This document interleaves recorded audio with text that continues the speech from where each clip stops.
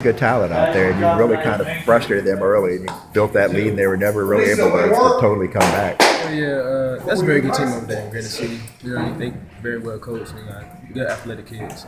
And so it's always tough, you know, guarding a good team like that. But it all just starts in practice, you know, all week, practice all week, you know, guarding, having a guard. And so my, my role is to take on, you know, the ball handling this and that so our players.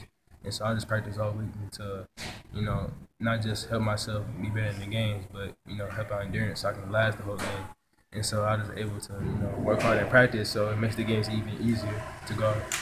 But uh, just, you know, to get in that, you know, a lot more varsity, know, getting to start this season, did it take you a while to really kind of make that transition and you started to feel a little bit more comfortable out there? You know, well, um, yeah, I feel more comfortable as I keeps going. But uh, you know, come back from football, you know, Is that part of it too? Just kind of making kind of I know AJ was saying the same thing. Is it did take a while to really kind of get that transition from football too? Yeah, because yeah, you know, I have to get in shape. You know, by the time you get up and down the court, you gassed. Yeah. And so, but the main thing is you just have to keep on working, and then throughout progress, as progress goes, you're Yeah. gonna get better and better. But was there anything in particular you guys did well tonight, either offensively or defensively, that really kind of was encouraging for you? Well, defense, the main part is communication. Yeah. You know, that's what we're big on is communication, and it starts in practice again.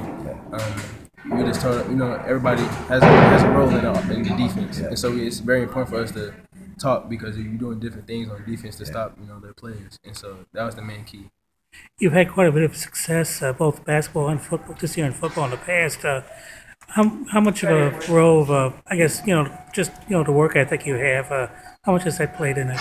Uh, I think it plays a, a very key role. You know, I'm always I always wants to get better, you know, every day and every practice. And so the only way to get better as a as a player is to work hard in practice. You know, you go through the uh, hard phases in practice to make the games easier.